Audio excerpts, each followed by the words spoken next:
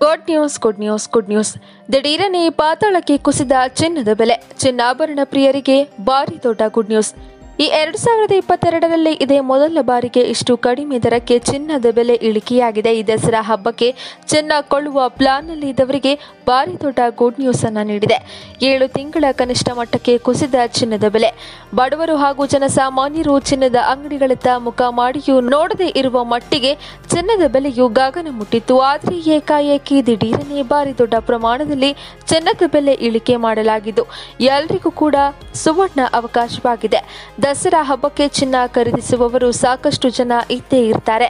ಎಂತಹ ಸಂದರ್ಭದಲ್ಲಿ ಚಿನ್ನದ ಬೆಲೆ ಎಷ್ಟರ ಮಟ್ಟಿಗೆ ಕಡಿಮೆಯಾಗಿರುವುದು ಎಲ್ಲ ಬಡವರಿಗೂ ಕೂಡ ಚಿನ್ನ ಖರೀದಿಸಲು ಅನುಕೂಲವಾಗಿದೆ.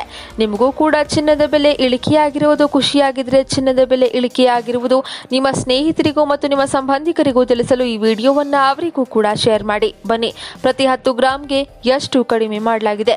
ಇಪ್ಪತ್ನಾಲ್ಕು ಕ್ಯಾರೆಟ್ಗೆ ಎಷ್ಟು ಹಾಗೂ ಇಪ್ಪತ್ತೆರಡು ಕ್ಯಾರೆಟ್ ಚಿನ್ನದ ಬೆಲೆ ಎಷ್ಟಾಗಿದೆ ಅಂತ ಕಂಪ್ಲೀಟ್ ಮಾಹಿತಿಯೊಂದಿಗೆ ಬೆಳ್ಳಿಯ ದರವನ್ನ ಕೂಡ ತಿಳಿದುಕೊಳ್ಳೋಣ. ಬನ್ನಿ. ವಿಶ್ವದಾದ್ಯಂತ ಬೆಳೆ ಬಾಳುವ ಲೋಹಗಳ ಮಾರಾಟದ ಒತ್ತಡಕ್ಕೆ ಅನುಗುಣವಾಗಿ ಭಾರತೀಯ ಮಾರುಕಟ್ಟೆಗಳಲ್ಲಿ ಚಿನ್ನದ ಬೆಲೆಗಳು ಏಳು ತಿಂಗಳ ಕನಿಷ್ಠ ಮಟ್ಟಕ್ಕೆ ಕುಸಿದಿವೆ. ಎಂಸಿಎಕ್ಸ್ನಲ್ಲಿ ಚಿನ್ನದ ಫ್ಯೂಚರ್ಸ್ಗೆ ಪ್ರತಿ ಹತ್ತು ಗ್ರಾಂಗೆ ಸೊನ್ನೆ ಪಾಯಿಂಟ್ ಐದರಷ್ಟು ಕುಸಿದು ನಲವತ್ತೊಂಬತ್ತು ಸಾವಿರದ ಎಂಬತ್ತೊಂದಕ್ಕೆ ತಲುಪಿದೆ.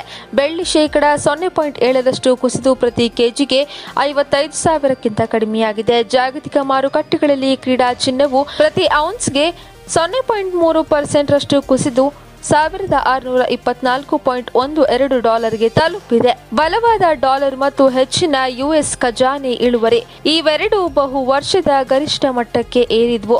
ಹಳದಿ ಲೋಹದ ಮೇಲೆ ಒತ್ತಡ ಹೇರಿದ್ವು.